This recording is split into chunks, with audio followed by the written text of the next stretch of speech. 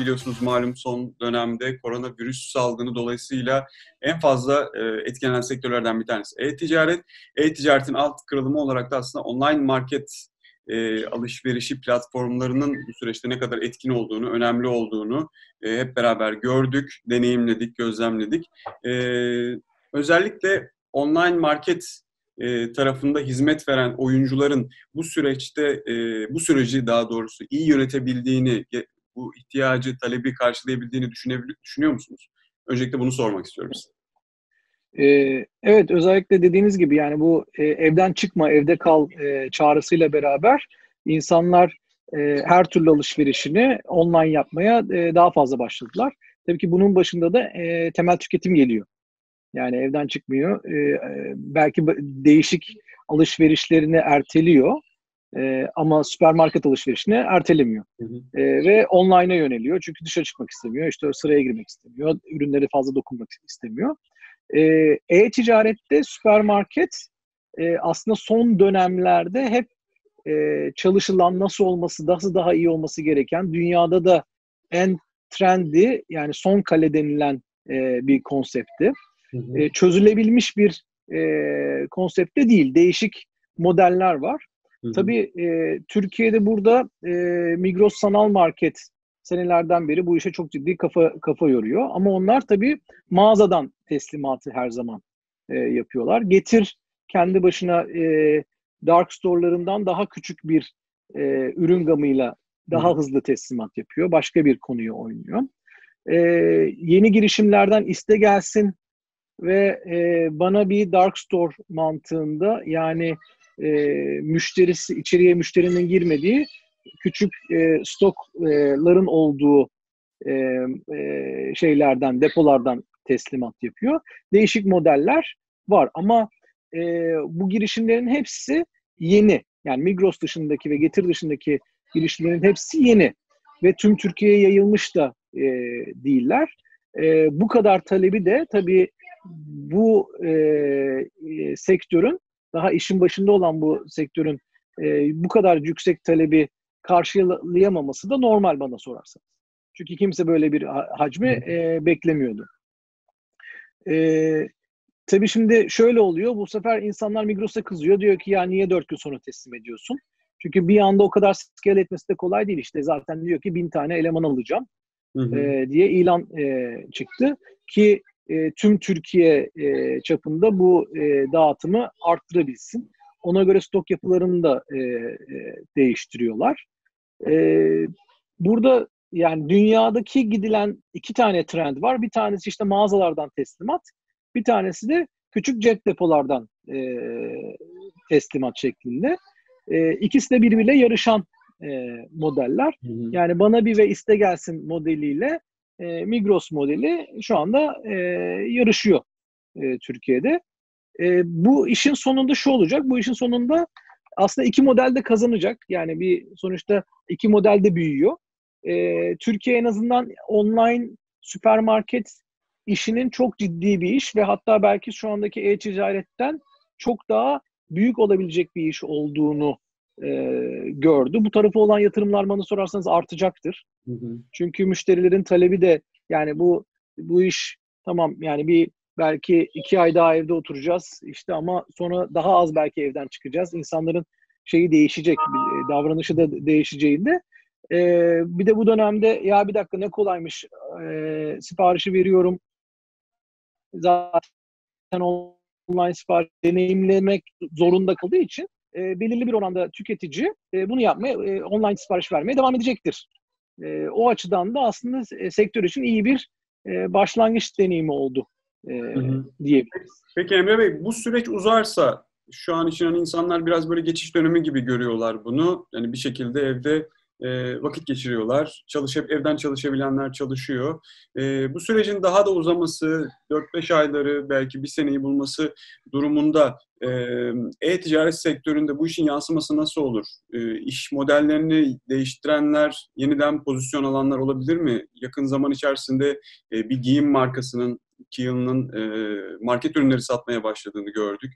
E, siz nasıl değerlendirirsiniz bu sürecin uzaması durumunda karşılaşacağımız olası senaryoları? Ya şimdi e, 3 3 aylık bir sorarsanız. Yani 3 aydan sonra normalize olacağımızı herkes varsayıyor. O o e, istekle ve o bir e, şeyle, umutla e, gidiliyor. Şimdi bu işin ikinci bir 3 ay veya bir 6 ay daha uzaması demek bu sefer tedarik zincirlerinde de aslında e, şey anlamına gelmesi demek. Yani e-ticaret yani ürünlerin bu sefer üretilmesi gerekiyor. E, sonuçta sokağa daha, az insan çıkınca e, kobiler de daha az üretmeye başlıyorlar. E, o açıdan yani 3 aydan sonrasını öngörmek o baş, çok başka bir plana e, gitmek demek oluyor. Çünkü ekonominin tamamında bir değişiklik e, olur. O da e-ticarette ekonominin tamamından ba- bağımsız bir e, sektör e, değil. Tabii bu dönemde yani Keelan'ın yaptığı ilginç. E, bir taraftan takdir etmek lazım. Çok ce- cesaretli bir hareketle ve aslında bir sosyal sorumluluk projesi olarak bunu lanse ettiler. Dediler ki biz işte e, maliyetine insanların almak istedikleri e, temel tüketim e, ürünlerini e, sitemizden yayınlıyoruz. E, takdir ediyoruz ama tabii hani e, belki markacılar, marka e, eksperleri başka şeyler söyleyecektir bu konularda. Hani normal zamanda böyle bir şeye girer miydi? Hani Kiyalı'dan bakliyat alınır mı? E, ya da Kiyalı'ya bakliyat satmalı mı? E, diye tartışanlar olabilir ama şu anda bir bir şey dönemi olduğu için, bir acil e, durum dönemi olduğu için e, bu hareketler kabul edilebilir. E, şartlar e, da ayrıca değerlendirmek evet. lazım belki de. Şartlar, evet yani hani normal şartlarda bunu zaten Kiyalı yapmazdı. Bu dönem için şey yaptı. E, fırsatçılık da değil ben, bana sorarsanız. Sonuçta e, maliyetinden hani diyor ki başka yerlerde bulamıyorsan ben bende bulabiliyorsan en azından e, bu ürünleri bende de var, depomda da var sana yollayayım e, diyor. E, bir taraftan da tabii şeyde bu insanlarda daha doğrusu e-ticaretteki bir trendlerden bir tanesi de pazar yerine dönmek. Daha doğrusu pazar yeri eklemek. Yani mono brandlerin e, artık tedarik zincirlerinde sadece kendi ürünlerini değil, e, türev başka ürünleri de tedarik zincirlerini e, değiştirerek veya uzatarak e, eklemesi anlamına geliyor. Hani bu işte e, genelde elektronikçiler yapıyordu bunu. Fransa'da Darty yapıyor mu sorarsanız. Hı hı. İşte e, Kanada'da Best Buy yapıyor. E, diyor ki ben artık tedarik şeylerimden de marketplace'ten de ürünümü satacağım. Çünkü gelen müşteriyi bu ürün bende yok e, demek istemiyorum. Hı hı. Demek istiyor ama tabii hani bu Kiel modeli bu değil. Yani Kiel'ı zaten ben e, girdiğimizde bakliyat alalım diye o e, amaçla girmediğimiz için ama şu olabilir, Kiel'ı yarın öbür gün e, başka marka ayakkabılar satmaya başlayabilir. Yani o o modellere e, dön, dönüşümün belki ilginç bir şeyi oldu, zıplaması oldu bu. Keskin bir ee, geçiş oldu. Keskin bir geçiş oldu. Ama yani e, şeyler pazar yeri ekleyeceklerdir. Dünyadaki zaten e, bu e, süpermarket trendinin yanında ikinci büyük trend de e, pazar yani sadece pür pazar yeri değil markaların da artık pazar yeri modeli eklemeleri e, var. E, Keelan'ki de bunun ilk e, dene, deneyimi e, oldu.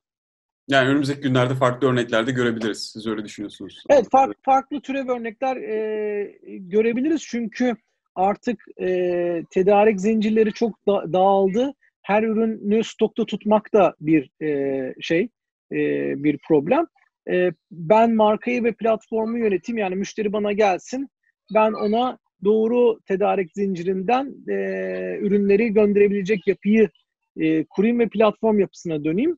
E, online'daki stratejilerden bir tanesi. Hı hı.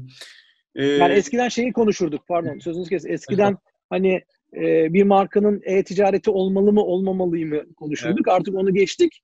Şimdi online'ımda yani ben bir tekstil markasıyım ama online'ımda benim üretmediğim başka e, t- e, müşterilerin de isteyebileceği ürünleri e, doğru tedarik zinciriyle satmalı mıyım, satmamalıyım mıyım e, şeyi var şu anda tartışması evet. var. Evet, e, son olarak şunu sormak istiyorum ben. E, aslında e, ufak ufak bahsettiğiniz cevaplarınızda ama e, şu ana kadar gelinen nokta itibariyle e-ticaret sektörü bu süreçten nasıl dersler çıkarmalı? Çıkarması gereken en temel mesela üç ders nedir? Ee, bunu merak ediyorum ben.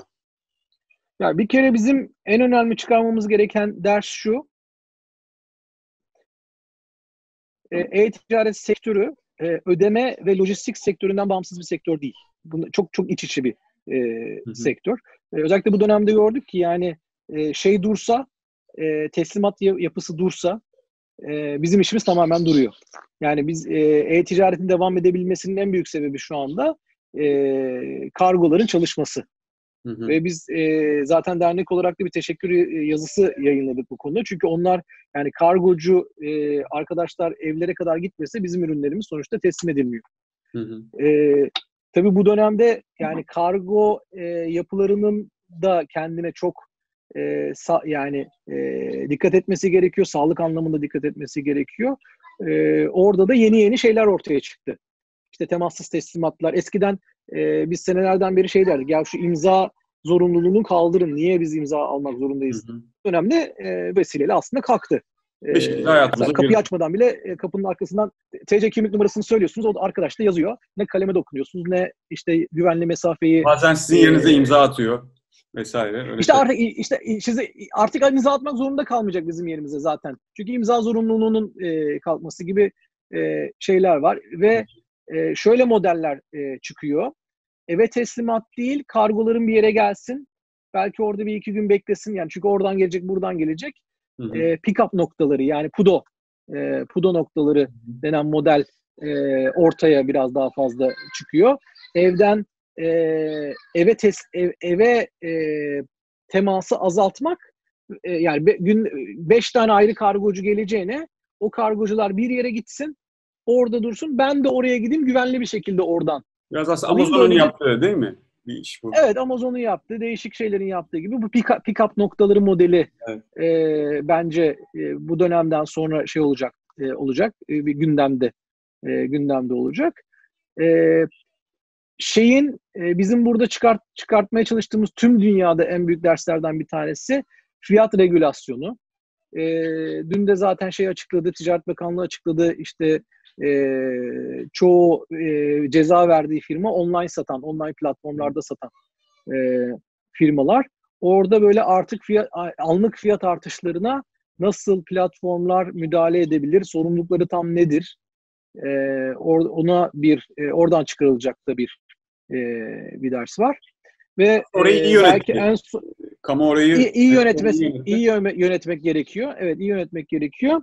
Ee, belki de en son söyleyeceğim ama yani e-ticaret anlaşıldı ki e, temel hizmetler kategorisine girmesi gereken bir e, bir yapı. Yani nasıl gıda perakendeciliği gibi ise işte elektrik, su yani herhangi bir e, olağanüstü hal durumunda e, devam etmesi gereken, e, zorunlu devam etmesi gereken hizmetlerden, e, temel hizmetlerden bir tanesi oldu. Çünkü sadece gıda perakendesi olarak düşünmeyelim. Şimdi bugün insanlar evden eğitim yapıyor. Hı hı. Şimdi e, benim de e, kızım var. Onun okulla ilgili e, ihtiyaçlarını online alıyorum. Çünkü gidip e, işte bir defter, bir kalem, bir tane el işi kağıdı nereden bulacağım?